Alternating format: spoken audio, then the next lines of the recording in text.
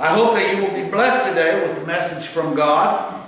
I always say this, but truly I ask you to keep your hearts and your minds open to God's message for you today. Though I may speak one word, it will be interpreted by many as God speaks to your own heart. And He wants to bless you. Can you imagine how many blessings we have missed over our lifetime? Uh, God wants to bless us, but we miss it because we push God away. That's not really what I want today. I'm looking for something else. I'm looking for a different answer. So we push God away and we stop Him from blessing us with what we need, truly need, and uh, we end up being the cause. Let's make an effort today to start just letting God be God in your life. Let God speak to your hearts. He does. Through your word, through His Word, through message, through love of others. So many ways God speaks to your heart. But when you hear it, obey it. Prepare yourself to say, I need to obey God when I hear from Him today. Whatever the message is, just obey. And your life will be, trust me, changed in ways you can't imagine today sitting in this church. When you start obeying God and His Word, you're going to be changed in ways that's going to knock you out.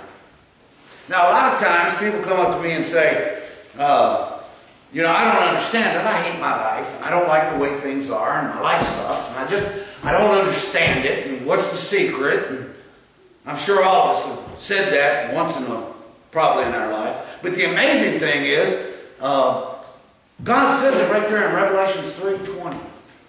He says, Behold, I stand at the door of your heart. I knock. And any man hear my voice and open the door, I will come in and will sup with him, and he with me. God is standing there today. He says in Matthew, when two or more are gathered in my name, I'm there in the midst. We know God is with us today.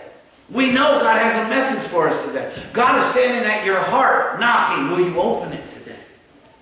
Jesus right there. He's extending love. He's extending His Word. He's extending the answer to those questions that we just heard. But what does man usually do?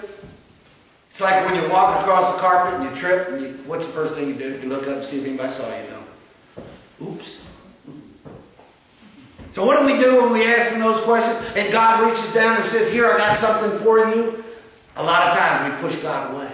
No, that's not what I'm looking for. And that won't work. Surely that's not the answer. We start being control freaks that we are.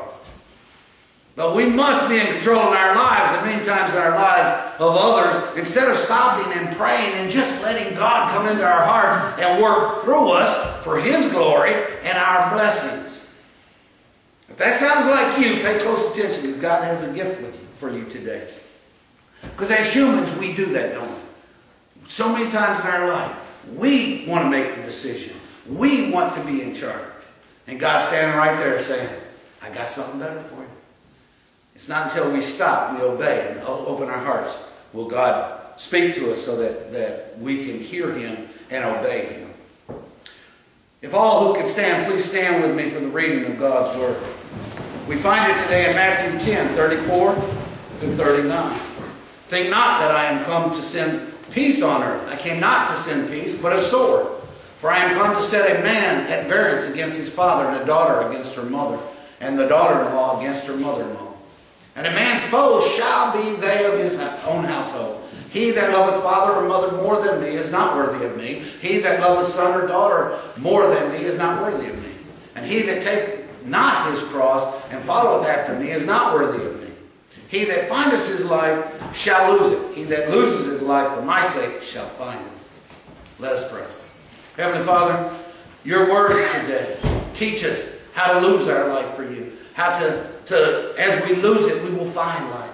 Teach us about your kingdom that is so upside down in comparison to this world. Show us this. Teach us this. Guide us. Illuminate. Transform our hearts to the way you want it. In Jesus' name we pray. Amen. You may be seated. Now we've been focusing on this set of scriptures probably for the last month. We had a series of three or four sermons on disciples, uh, and then the church's responsibility of disciple making, and uh, we're going to conclude today Um, but I wanted us to bring into focus, especially verses 38 and 39. And he that taketh not his cross and follow after me is not worthy of me. He that findeth his life shall lose it. He that loseth his life for my sake shall find it.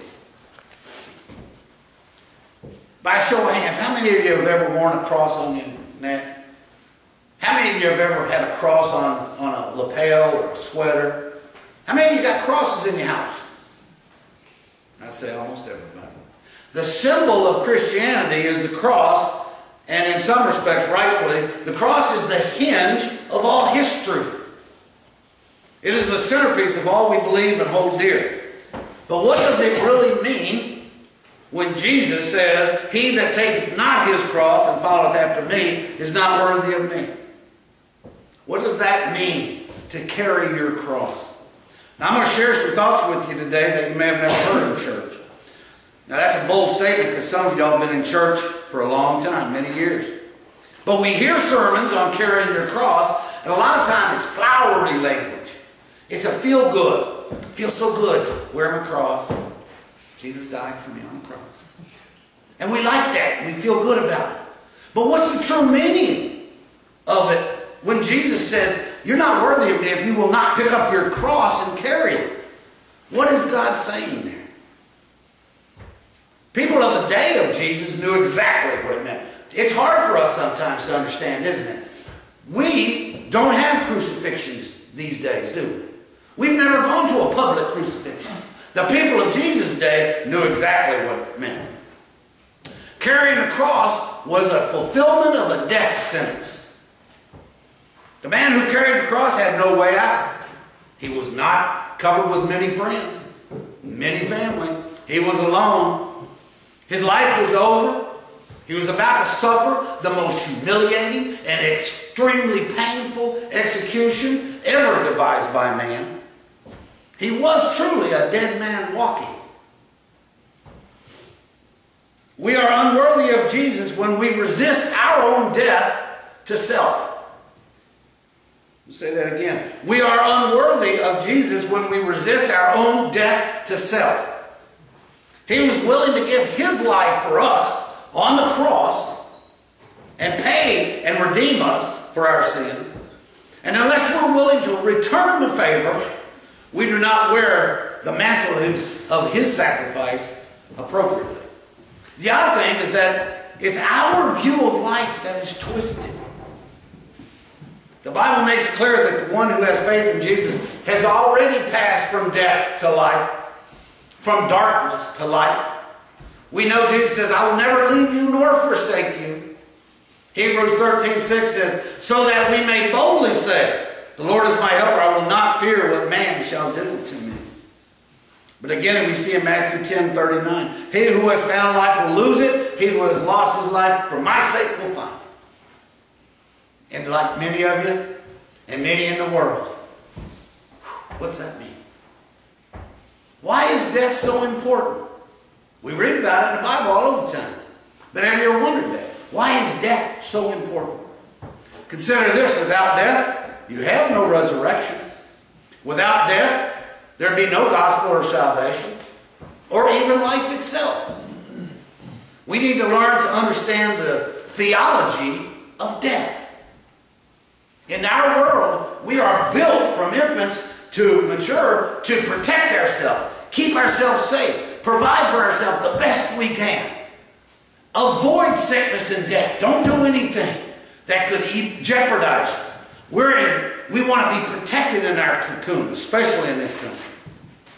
But we need to understand what a theology of death truly means.